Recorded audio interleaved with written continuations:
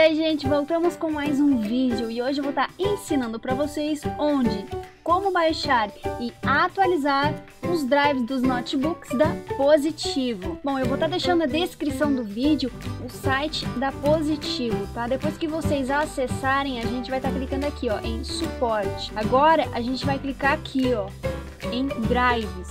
Bom, aqui vocês vão estar digitando o número de série. Ele fica abaixo do seu notebook, tá?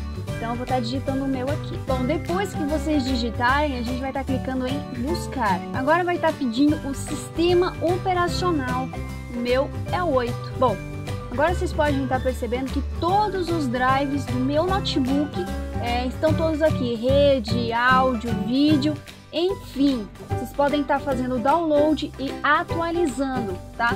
Ou se você formatou seu notebook e precisa dos drives, também vocês podem estar entrando aqui, tá? Espero que vocês tenham gostado do tutorial. Não esqueçam de continuar nos seguindo nas nossas redes sociais, deixar o seu comentário, sua dúvida, seu joinha positivo ou negativo e principalmente se inscrever. Não esqueça, vídeos novos toda segunda, quarta e sexta. Até o próximo vídeo.